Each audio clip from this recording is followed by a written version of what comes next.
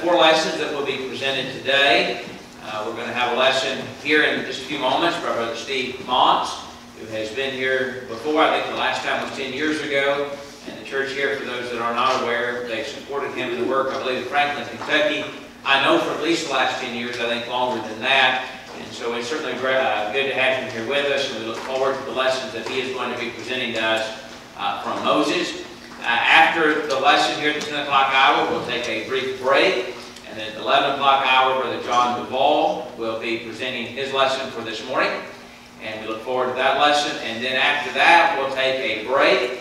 And then we'll come back at 2 o'clock this afternoon for two more lessons at the 2 o'clock and at the 3 o'clock hour. Among our visitors here with us are Brother Nolan, uh, Nolan Glover, and we help to support and work at Kennett. We're grateful for him being here. We're going to ask him in just a moment to lead us in our opening prayer, and at the conclusion of the prayer, then we'll turn the remainder of the hour over to Brother Steve Moss. For all those that are visiting with us, we want you to know that you're our honored guest. Uh, we're glad to be glad that you're here. Your presence encourages us, lets us know you're interested in spiritual things, and encourage you to come back and be with us at any opportunity that you can. And we'll meet tomorrow at 9 and at 10 for our regular times in the morning. Then tomorrow afternoon we'll meet at 4 o'clock for the uh, third lecture of the day, and then at the 5 o'clock hour for our regular worship service. This time we're going to turn over to Brother Nolan to lead us in a word of opening.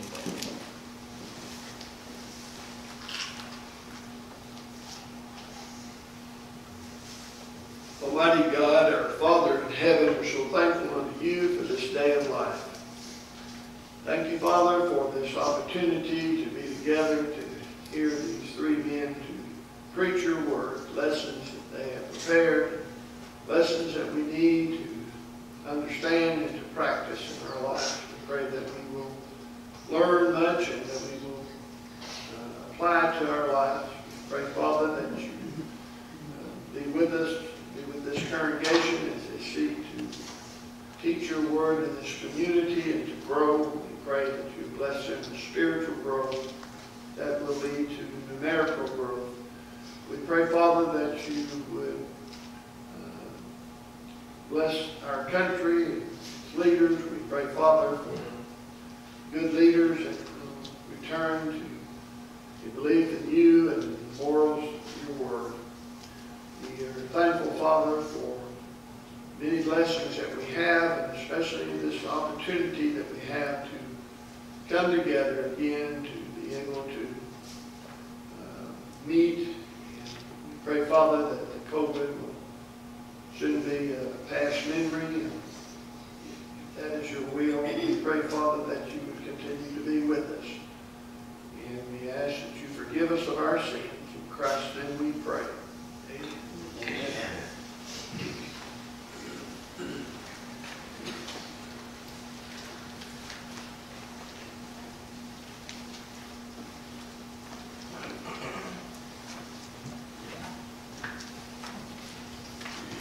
Brethren, it's good to be with you here again.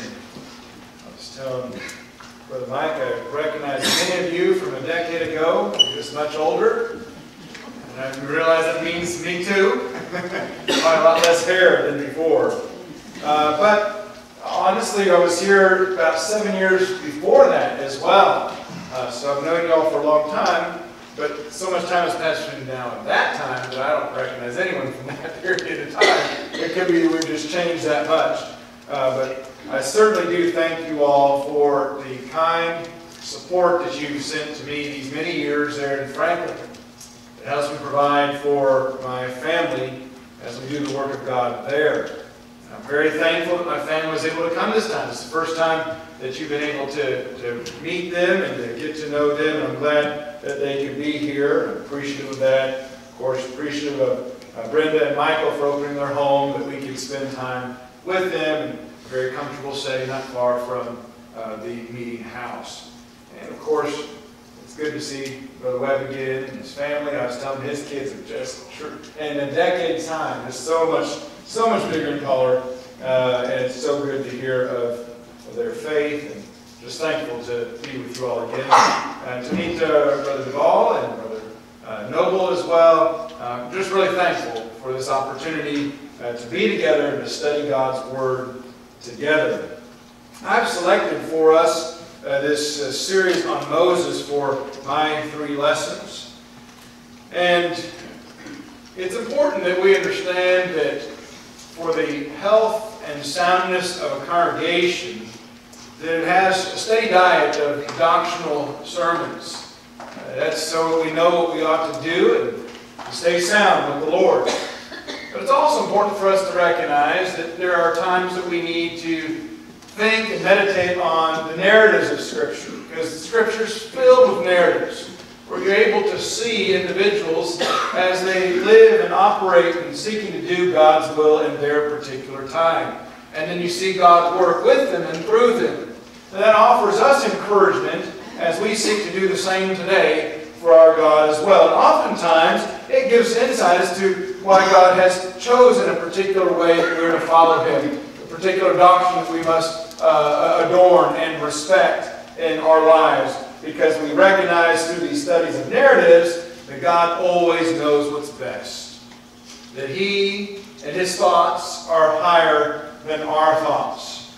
And so when we study the lives of individuals in Scripture and see God work with them, we see that that is the case all the time. Years ago, I started this study on the life of Moses. It ended up being a 27-part series. You get to be introduced just the first three, the beginning of Moses. And I've done this a number of places because I think there is a lot to learn from the beginning uh, of the story of anybody. To understand their background and where they have come from helps you then understand where they end up going. Before we look at the first lesson entitled The Making of a Great Leader, I want to give you first maybe some Cliff notes, some introductory notes regarding Moses and why it's beneficial for us to study Moses. The first five books of the Bible were considered Israel's Bible for many, many years. And the book of Deuteronomy, if you like to turn there, Deuteronomy chapter 6, Deuteronomy chapter 6, and read with me verses 4 through 8, we see how important it was for them to study it and to meditate on it. Deuteronomy 6, verse 4 says, Hear, O Israel, the Lord our God, the Lord is one. And you shall love the Lord your God with all your heart, with all your soul, with all your strength. And these words which I command you today shall be in your heart. You shall teach them diligently to your children, and shall talk of them when you sit in your house, when you walk by the way, when you lie down, and when you rise up. You shall bind them as a sign on your hand, and they shall be as spotless between your eyes. You shall write them on the doorposts of your house and on your gates. And so they were to be immersed in the will and law of God. It was to be a constant meditation of their mind and their heart, and to be shared within their family. And so we see God's import in regards to their private life.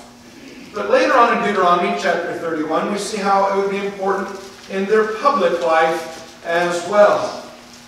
In fact, just before the death of Moses, he sets forth a process by which public teaching, regular congregational meeting, where they come together to consider God's Word, that that would be established essentially in the time of Moses. In Deuteronomy 31 there, verse 12, he says, Gather the people together, men and women little ones, and the stranger who is within your gates, that they may hear, and that they may learn to fear the Lord your God, and to carefully observe all the words of this law.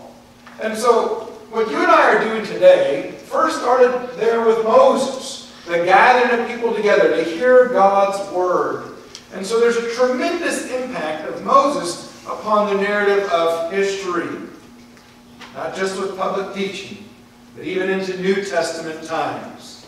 In fact, as we journey to the New Testament, you learn that the law of Moses is still binding during the life of Christ. In Matthew chapter 5, Jesus, before he launches into his great Sermon on the Mount, wants to make sure that he's not misunderstood.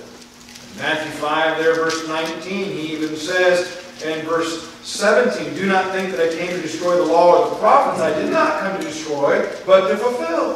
For assuredly I say to you, till heaven and earth pass away, not one jot or one tittle shall pass away until all is fulfilled. Whoever therefore breaks one of the least of these commandments and teaches them so shall be called least in the kingdom of heaven. But whoever does and does and teaches them, he shall be called great in the kingdom of heaven. It was binding in the time of Christ until it was nailed to the cross of Christ. You even learn in the New Testament, Moses makes an appearance. In Matthew chapter 17, there in verse 3, on the Mount of Transfiguration, Jesus met with Moses and Elijah. And I always like that tender scene there, because one of the things that leaves us heartbroken about Moses is that at the end of his life, he wasn't able to go into the promised land as he so desired. But there you see in the time of Christ, he's there in the land. But it's as of no consequence. It's as if it doesn't even matter because he's in a better promised land by that point in time. In fact, that entire discussion was all about Christ and what he was going to do and soon accomplish on the cross. It was not about Moses in the promised land. Moses' words revealed many unknown things about Jesus Christ. And that was by God's design. In John chapter 1, John chapter 1, there in verse 45. John 1 45, the record tells us Philip found Nathanael and said to him, We have found him of whom Moses in the law and also the prophets wrote, Jesus of Nazareth, son of Joseph. And so they recognized Jesus fulfillment of what Moses was writing about and speaking about.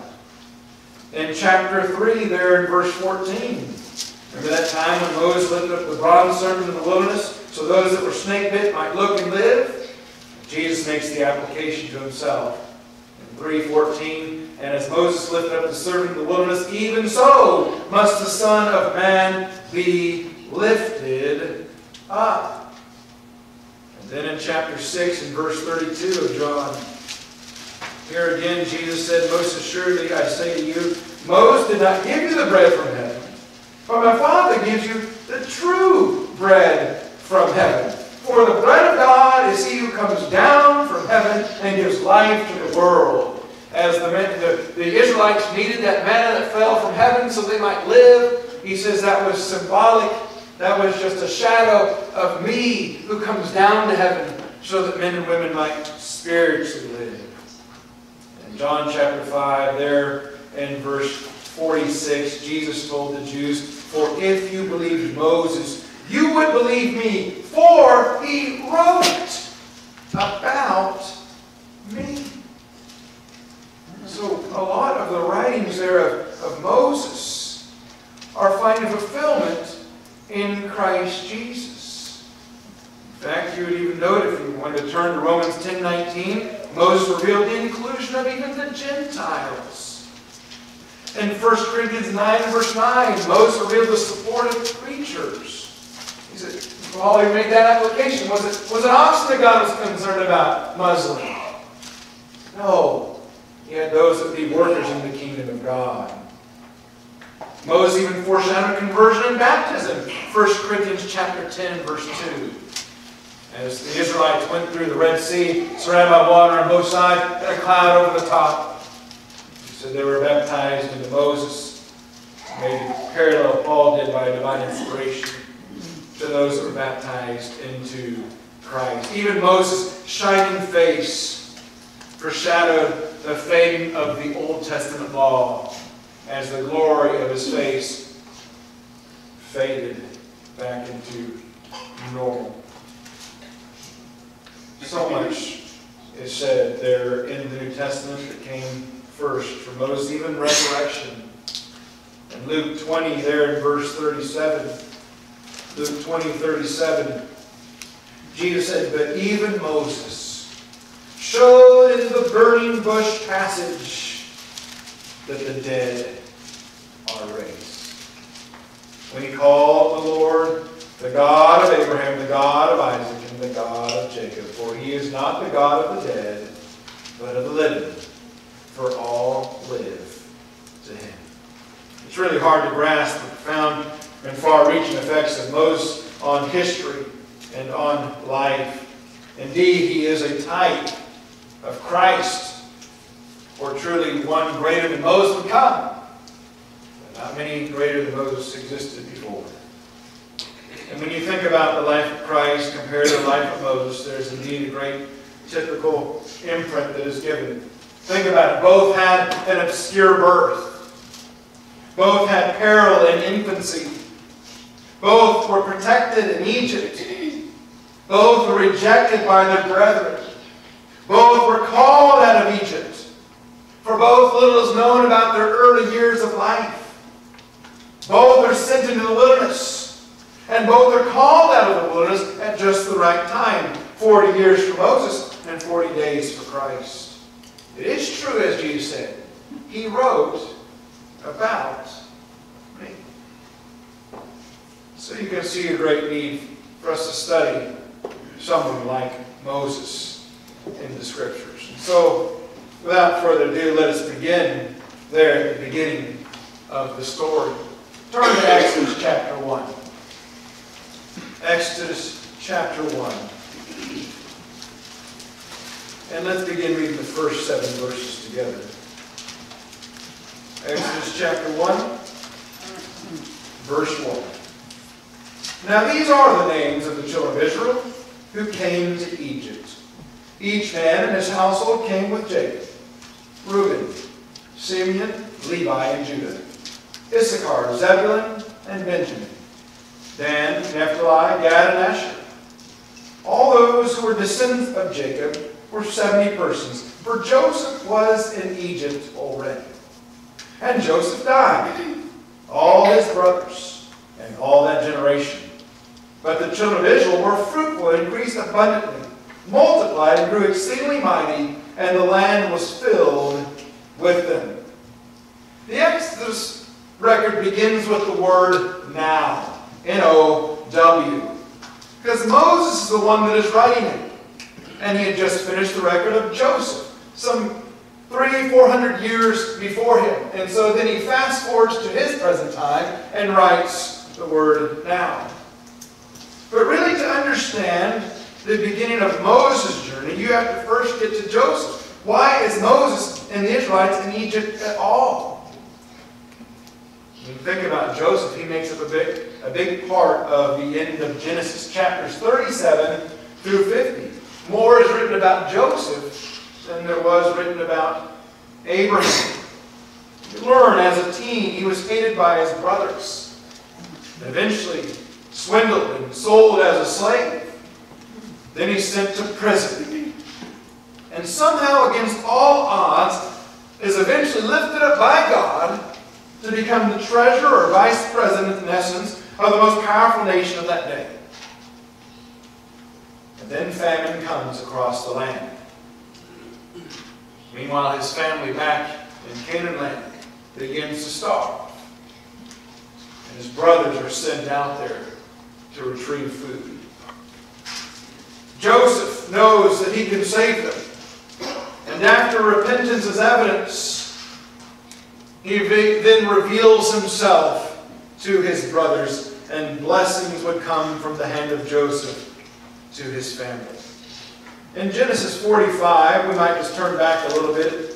In Genesis 45, there in verse 5, when he reveals himself, he says in verse 5, But now do not therefore be grieved or angry with yourselves, because you sold me here. For God sent me before you to preserve life. He recognized the almighty divine hand of providence behind all of this. Verse 6, for these two years the famine has been in the land, and there are still five years in which there will be neither plowing nor harvesting.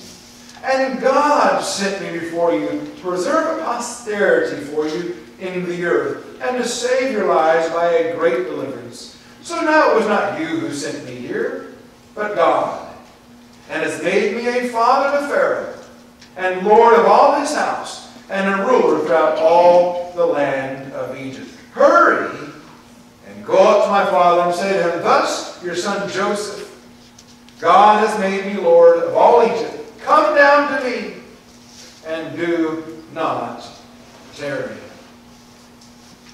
So they begin to make the long journey. Here comes a small band of refugees.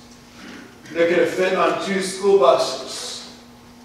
And when they arrive, they're not herded like cattle into some fenced off refugee camp to eat by an existence. But God gives them prime real estate, Goshen. And for the next 71 years of Joseph's life, things go very smoothly. As we come to the end of Joseph's life, in Genesis chapter 50, verse 22, it says, So Joseph dwelt in Egypt, he and his father's household, and Joseph lived 110 years. Joseph saw Ephraim's children to the third generation. The children of Machir, the son of Manasseh, were also brought up on Joseph's knees. And Joseph said to his brethren, I am dying, but God will surely visit you and bring you out of this land to the land of which he swore to Abraham, to Isaac, and to Jacob. Then Joseph took an oath from the children of Israel, saying, God will surely visit you, and you shall carry up my bones from here. So Joseph died, being 110 years old, and they embalmed him, and he was put in a coffin in Egypt. So Moses leaves the record of Joseph with that great promise that there would be a time coming in which they would leave the land of Egypt after some time. And they would even carry the bones of Joseph with them out of that land. Well, like I said, for quite some time, things went smoothly for the Israelites in the land of Egypt. But after some subtle changes happened, Israel's stock drops like it's 1929, and a Great Depression comes upon them. They now become the two million in the refugee camp by the time we flip one page to the word now in Exodus. Now, how did this happen? How did they become despised? When you think about it, it's not much different on how it works within other nations and other cultures throughout time.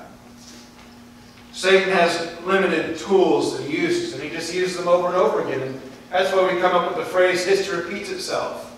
Because he just keeps using those same tools over and over again to fool man. He is the father of lies, and he's been in his work since the beginning.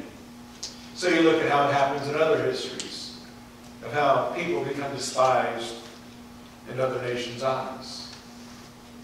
You see suspicion, and time becomes prejudice. Prejudice becomes persecution. And persecution, if unchecked, becomes genocide. Just see Rome to the first Christians. Just see Hitler to the Jews. Or even more closer to our present day. 1994 in Rwanda. Where four, in, four, in one, four months, one million Tutsis were killed. That was 70% of them. See, Satan's process is the same. It's the people and the circumstances and time are the only things that really change.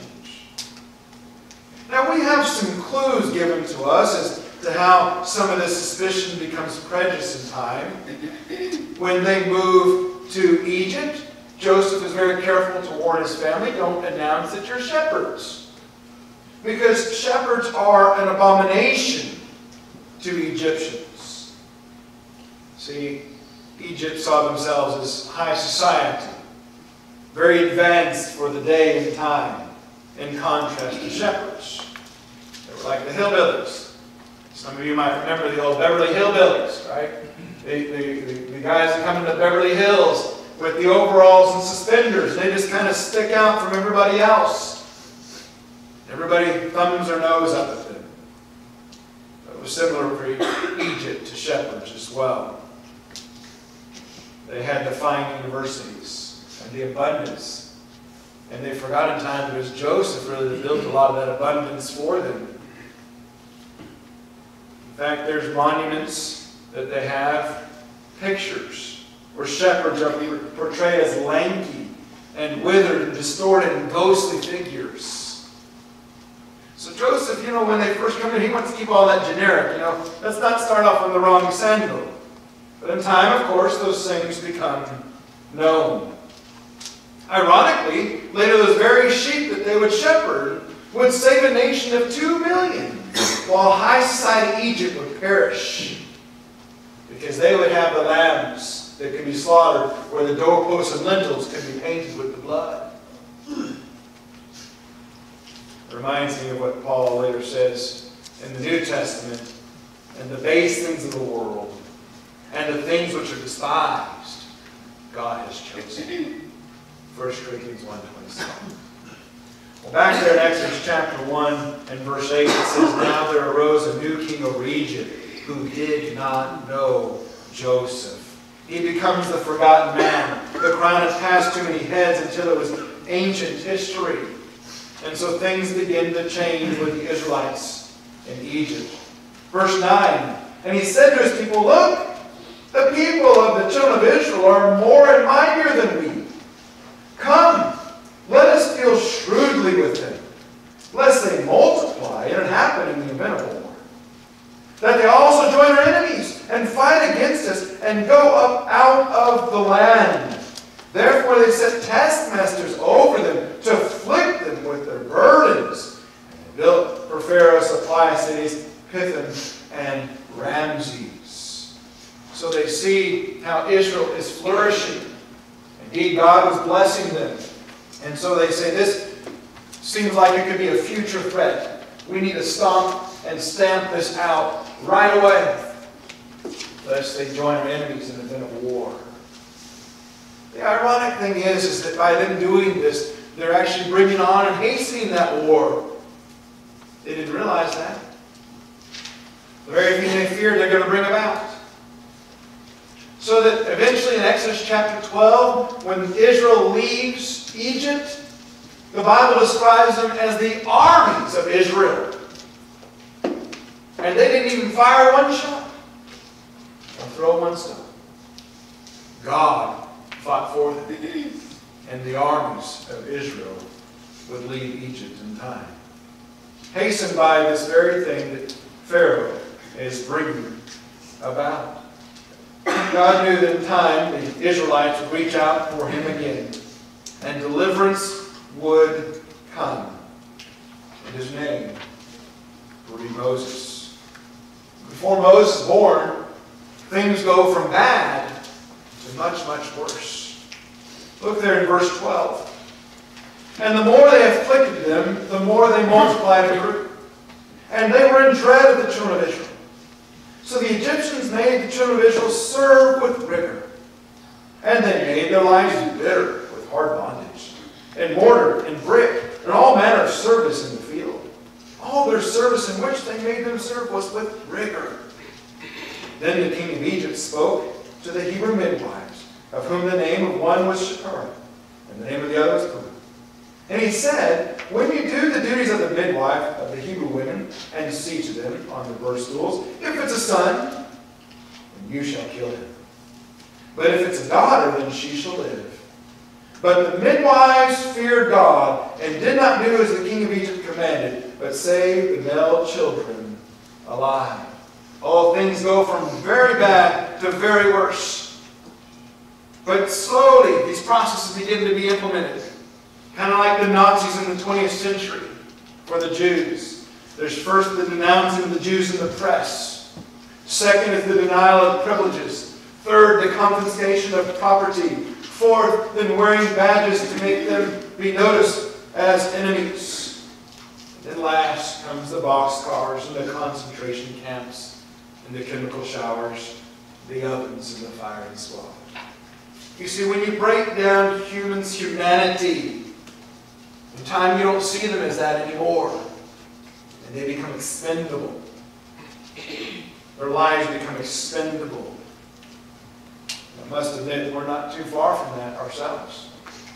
In a country that now celebrates and promotes abortion or euthanasia, life becomes expendable, it's cheap, it can be removed.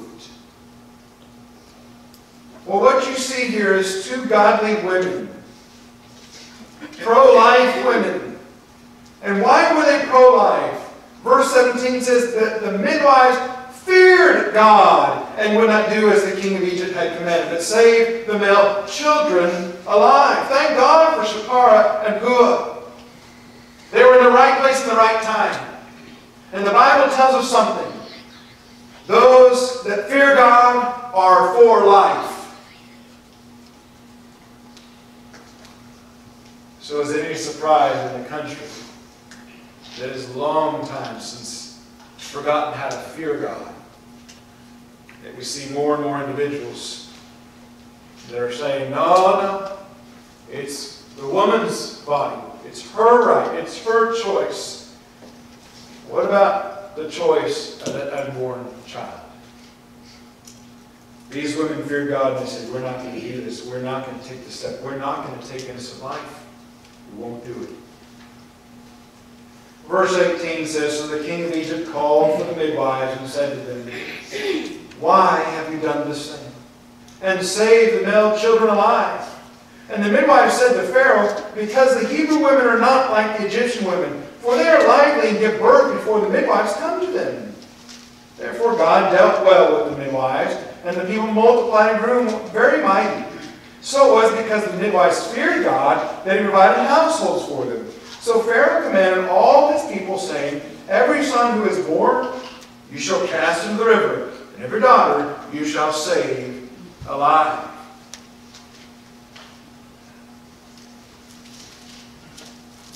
Now, often the question comes through this process were the midwives dishonest in all of this? Probably. Maybe, but I also have to say maybe not as well. I tend to think that they lied. However, I must admit it's possible that the Hebrew women were lively and very fast, and it was, it, and there it is. There's the child, you know. Possible.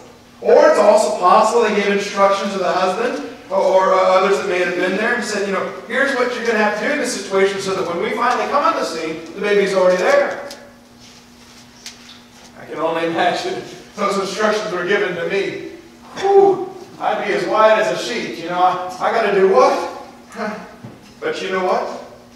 Whatever it takes. Whatever it takes to save that little innocent life. Here's what I do know.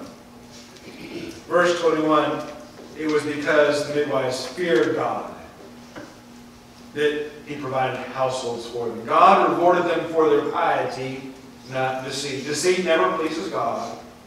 But he rewards them for doing what was right in his eyes. God valued life, so they valued life. And they recognized it's better to obey God rather than men. Acts 5 and verse 29. Now I want to stop here for a moment and drive down a little peg. There's, there's a couple of lessons that we learn. I, in fact, I called this series Moses Lessons for Living because there are so many applications that we can make to our lives. One of the first applications I make from this is that what Egypt was doing ultimately was because they were afraid of Israel. Chapter 1 and verse 12. And that made me realize that under the rock of brutality is often fear. Egypt was afraid of Israel. And so they sought to harm them. My 20 some years of preaching and counseling and helping individuals and brethren, I've often noted that brutal and angry people are often driven by fear. Fear of loss, fear of humiliation, fear of exposure, fear of weakness, fear of growing up, fear of people, fear of losing control, fear of the past, fear of the future, fear of the present. And friend, if you're prone to anger and fits of violence or harshness, it might be wise to stop and to ask yourself, what is it that you're so afraid of? The Bible tells us to cast our cares upon Him, for He cares for us. And we're admonished to lean on Christ and to learn from the Holy Spirit when He says, Be not afraid. The second lesson I learned for living is that hard times doesn't mean that God forgets. That's a good lesson for us in our, in our day as the brother prayed about the pandemic and how we all wish it was a thing of the past. But even in, through the midst of it all, in our struggles and difficulties, God doesn't forget us. He doesn't forget His promises. Doesn't mean He's unconcerned or He doesn't notice, because God cannot forget. God always cares and He always notices. Now, we may forget and we may not care and we may not take note, but not God. It's impossible. And oftentimes people in their struggle say, Well, I don't see Him in the midst of all of this. And neither did the Hebrews in the midst of their struggle and their plight. And yet, God was there unmistakably. It was not an accident that the record then says next, Moses was born in these times. Exodus 2, verse 1. And a man of the house of Levi went and took as wife a daughter of Levi. So the woman conceived and bore a son. And when she saw that he was beautiful, a beautiful child, she hid him three months. It was no mistake that Moses was born then. And I believe, friends, it's no accident that you and I are born in this particular era too. God provides now as He provided then. Often folks will say, well, I just don't think I'm really see God in my life. I don't know if I'm really making an impact. Friends, God will use you if you will be willing to be used obediently. Uh, but I'm not making a difference. I'm no, no Moses. Surely I'm not something grand then. But you may need to adjust your definition of grand. Have you been obedient? Then you are grand in God's eyes. And you are making an impact, whether you see it or not. I promise you, you are.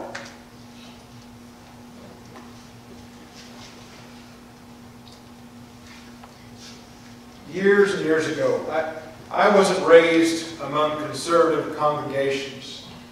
I was raised among liberal churches of Christ. That's how I was introduced to the Bible. My mother and father were wed. My mother was always conservative, and I never understood why she would always go to a different congregation, even though it was a church of Christ. How hard that must have been for her. She kept praying because Dad forced the children to go with him. Praying one day that God would give us the opportunity, the life, and the health to be able to make our own choices. And have a heart that's willing to study the differences. But year after year after year after year, she was attending by herself, making very long drives to the assembly, sometimes over an hour, depending on where we lived at that time. She may have thought, am I making any difference? I haven't any impact at all. One time, my brother studied the differences first, and he left, convinced that where we were at didn't have authority for the things they were doing. Few years later, I studied out and left. And a few years after me, my sister studied out and left. Now, me and my brother are both full-time evangelists. Well, he's taking a little sabbatical right now. My sister's a member of a conservative work. See, we need to adjust our definition of grand.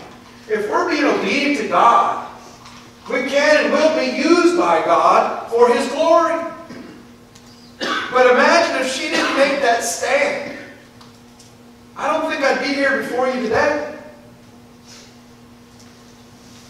See, when we're talking about the making of a great leader, we have to understand that great leaders aren't born. They're made. And when we think about the great leader Moses, we have to recognize that there'd be no Moses without his parents. Do you know the names of Moses' parents? A lot of folks don't remember those names. You have to go to chapter 6 before you actually hear or read of their names. Amram and Jochebed are their names. And when you think about their names, you begin to realize that the grandparents of Moses were also very godly individuals as well. The name Amram means exalted people. And who names their child exalted people in the midst of all their suffering and slavery that they're going through? Someone that fears God, someone that trusts God. And Jochebed's parents named her Jochebed, which means glory unto Jehovah. Again, it requires a parent of faith to be able to see the glory of Jehovah in the midst of all their suffering and trials. And that godly influence of Moses' grandparents would be passed down to his parents, which would be passed down until Moses would arrive. So it's no accident that they were then, or you and I are now. God knew them, and He even honors them in the privileged hall of faith. Did you ever notice that? In Hebrews chapter 11? Hebrews chapter 11. We may not notice that because it mentions the name Moses. But it actually says the parents of Moses. Hebrews chapter 11, there in verse 23. By faith, Moses, when he was born, was hidden three months by his parents. Well, Moses couldn't do anything by faith three months old. It was his parents. They said, we're going to trust God with this and pray that it works out. Are you having an impact? Are you being obedient? And think about it. Amram and Jochebed, they were consistent. It was not just a one shot with Moses. They raised an Aaron and a Miriam too, which go on to be very highly influential among the Jewish community. Back there in Exodus chapter 2, you know, they, they're having a third child during these very difficult times. And I'll be honest, before I had children, I struggled with thoughts like that. I really want to bring children to the world like this. So much has changed. So much has changed in my small, short lifetime. Now, I want to introduce them into a society like this, and, and it really was a struggle for me for some time. And I remember when it finally clicked with me. You know that song, Because He Lives? There's one stanza that talks about holding that newborn baby. Right? Feel the pride and joy that He gives. I know that that child can face tomorrow because He lives. So I remembered and I recognized God doesn't want us to stop living because times are difficult, but rather keep living for Him in spite of difficult times. Because He lives. The trust that He knows what is ahead, even though we cannot see around the corner. Well, that's exactly what Amram and Jochebed did. They had Miriam, who would be about 11 at this time, Aaron 3, and they think, let's have another. That's a lot of trust. That's a lot of trust in God. The Bible tells us they hid him for three months, but they couldn't do it anymore. Because we know they're, they're getting bigger and the vocal cords are getting louder, and you know, anyone that's had children, you know what that's like, that feeling in the morning and in the night and all times of day. There were some times we had triplets, as a lot of you know at the beginning. There were some times we wished for three little arks and some bulrushes that we could kind of shuffle them off to, you know, for a little bit of time. It's, it was difficult. It was hard, but we were blessed. So they think, what do we do with this crying baby? Well, verse 3 when she could no longer hide him, she took an ark of bulrushes for him, daubed it with asphalt and pitch, put the child in it, and laid it in the reeds by the river bank. And his sister stood afar off to know what would be done for him. What's the plan? That's the plan? Yeah, that, that's the plan. Well, instantly my mind's thinking, well, what about when he he learns to roll around or to crawl a little bit. Well, well he can't swim. So all, all, the, the future moments that be coming, I, I, my mind would instantly go to those things. But I love this. What you see in Amram and Jochebed It so beautifully illustrates Matthew 6, verse 34. Do not worry about tomorrow. And In essence, no tomorrow, just only today. They didn't know all the answers of what was coming. They just knew what to do now, today. Build an ark, a little boat that you could put your boy in so that it would kind of hide and muffle the cry. And it would kind of act like a, a way to deflect the voice, you know. Because the soldiers, if they're coming by, they're, they're not going to look at the river. They're going to look at a house. Where's that sound coming from? Just survive today. That's a lesson for us as well. I don't know about you, but I crossed way too many bridges before I arrived to them. And I need to think more like Amram and Jochebed. The only problems that exist are those today. Now, I'm not saying don't plan for tomorrow. I'm saying don't worry about it. That's what the Lord said. Don't worry about tomorrow. And so, we're going to plant Miriam not far away, and she can kind of keep an eye on him over there. Now, verse 5. Then the daughter of Pharaoh came down to bathe at the river, and her maidens walked along the riverside. And when she saw the ark among the reeds, she sent her maid to get it. And when she opened it, she saw the child. And behold, the baby wept, so there's baby Moses crying. And Pharaoh's uh, assistant, Pharaoh's daughter's assistant, sees, sees the baby. Now imagine you're Miriam there, you're watching. This is one of those time stand stills moments. You know, we're just, what, what's going to happen next? You know, the, the heart racing, The adrenaline pumping. Is she just going to pick up Moses and throw him in the river? What, what's going to happen? You ever had one of those moments? I remember not too many years ago, I took the triplets out to bike at the park, and you know how dad is, just, oh yeah, we can go down that hill, no problem. And they did for a few times, went down a grassy hill. I said, all right guys, time to go. Well, my daughter wanted to go one more time. And so she started to go down this hill. I was at the bottom of it. And I could see her eyes as wide as saucers. I realized she forgot her brakes. She was just frozen in fear. She was picking up more and more speed, and I realized this is going to end very, very badly. And I see her as she hits the, uh, the, the, the, gravel uh, roadway. She flips over the bike, lands on her head, and she's there before me. I run to her, and she's unconscious, and I, I flip her over. And there's those few seconds where you're like, Penny, Penny, Penny, are you okay? Penny, Penny. And it's like time stands still.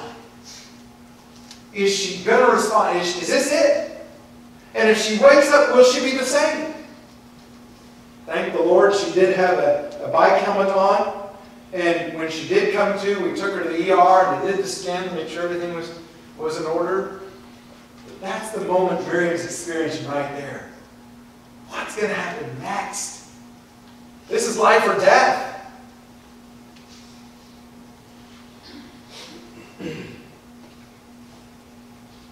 The Bible says in verse 6 So she had compassion on him and said, This is one of the Hebrews' children. Then the, his sister said to Pharaoh's daughter, Shall I go and call a nurse for you from the Hebrew women, that she may nurse the child for you? I gotta admit, I'm impressed with Miriam. She is thinking fast on her feet. I don't know if I'd have thought that. But she's right there. Boom, hey, can I get a, a nurse for you? Uh, one of the Hebrew women. Oh, yes. Pharaoh's daughter said to her, Go. And so the maiden went and called the child's mother. And then Pharaoh's daughter said to her, Take this child away. That means she didn't know that was the mother. Not take your child away. I don't think that would have happened. This would not have worked if she knew that was the child's mother. But take this child away and nurse him for me, and I'll give you your wages. So the woman took the child and nursed him. Isn't that amazing?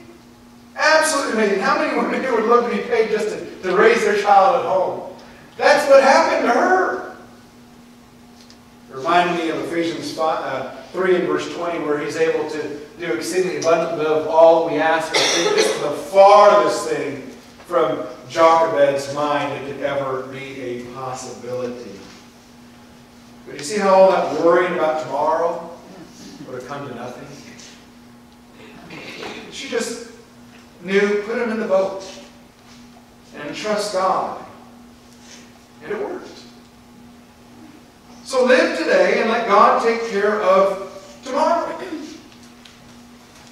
She gets to keep baby Moses for longer under protective custody and even get paid for this.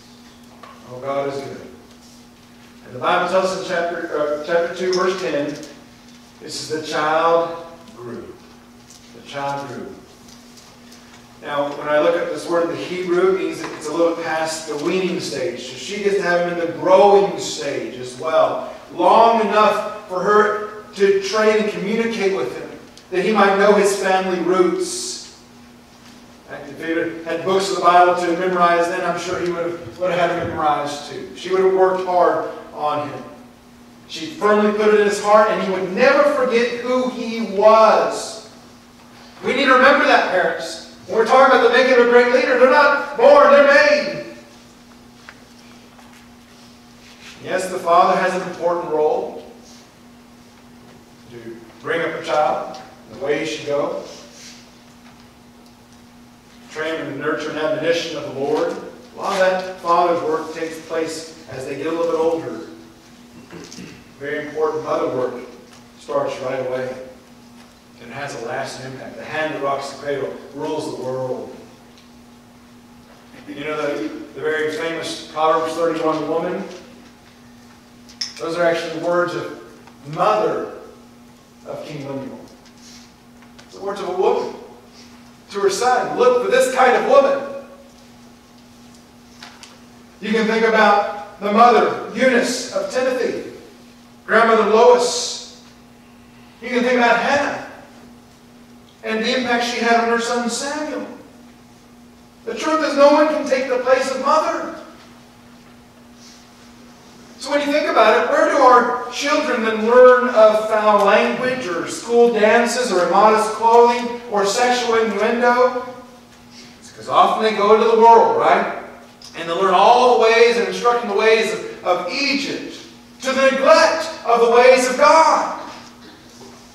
And if we don't constantly push back against that and teach them the way of God and the way of Egypt we'll triumph.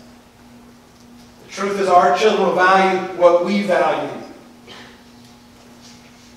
Mothers, fathers, do your job well. Because the church, a preacher, a guardian, or daycare can't do it for you. Nobody can take the place of godly parents. It just cannot be done. And so she gets to have Moses in these formative years. And the Bible says in verse 10, and she brought him to Pharaoh's daughter. And he became her son. So she called his name Moses, saying, Because I drew him out of water. I've tried to picture this a number of times in my mind's eye. Jochebed grabbing little Moses' hand, walking away from the Hebrew camp for the last time as a boy. Probably weeping with each step, all the way to the palace. And I picture little Moses saying, What's wrong, Mama? What's wrong? How hard. And then his hand being passed off to another woman who's all cleaned up, dolled up, painted eyebrows, that have scared me to death. Had I been Moses, I would have wept for many nights. Nothing more soothing than a mother's touch. Nothing more comforting than father's wise words. And all that's gone. no more playing and laughing with sister and brother. See, this was not like Hannah and Samuel with visiting privileges. She, the Bible says, she becomes his mother, and he becomes her child, Pharaoh's daughter. I almost cried when I studied this and tried to picture the last kiss, the last instruction given, the last prayer being offered, the straightening of his little tunic, and the last hug being given. And then I began to think, are we really that far off ourselves? I mean, do we remember our last times with our kids? Do we remember that last diaper change? The very last one. Remember the last time you rocked your child to sleep? Maybe the last time you did. Remember that last conversation you had before they went to high school? Or left the home for college? See, swiftly we're turning life's daily pages. Swiftly the hours are changing to years. How are we using God's golden? I tell you, Jochebed and Amram filled moment after moment with God, and he never forgot. Because great leaders, friends, are not born, but they're made. And again, this was not a one shot with Moses. They are the parents of Aaron and Miriam as well. And so, though Moses would be instructed in all the ways of Egypt, it did not change who he was inside. It changed his home, it changed his language, it changed his studies, but it didn't change his soul. He knew who he was. So may God give us more Jochebeds and Amrams. May we be like that. Remember, parents, to do your job and to do it well. And to realize that you are having an impact. Raising the great leaders of tomorrow. Thank you for your attention. We'll go ahead and stop the study at this time. Take a brief break and then come